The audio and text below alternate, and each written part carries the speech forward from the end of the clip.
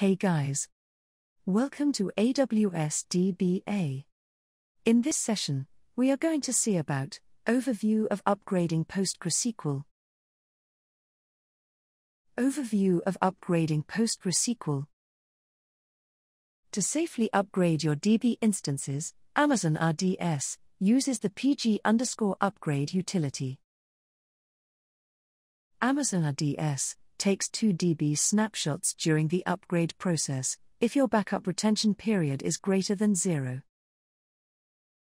The first DB snapshot is of the DB instance before any upgrade changes have been made. If the upgrade doesn't work for your databases, you can restore this snapshot to create a DB instance running the old version. The second DB snapshot is taken after the upgrade completes.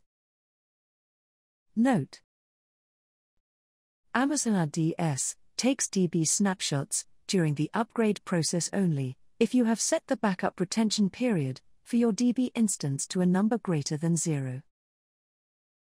When you upgrade the primary DB instance, all the in region read replicas are also automatically upgraded.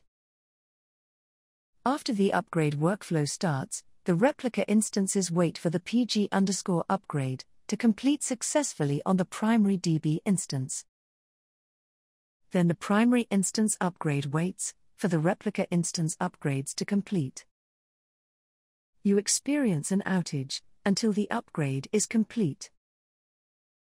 If you have any older replicas from earlier major versions, they aren't upgraded. If your DB instance is in a multi-AZ deployment, both the primary writer DB instance and standby DB instances are upgraded the writer and standby DB instances are upgraded at the same time. After an upgrade is complete, you can't revert to the previous version of the database engine. If you want to return to the previous version, restore the DB snapshot that was taken before the upgrade to create a new DB instance.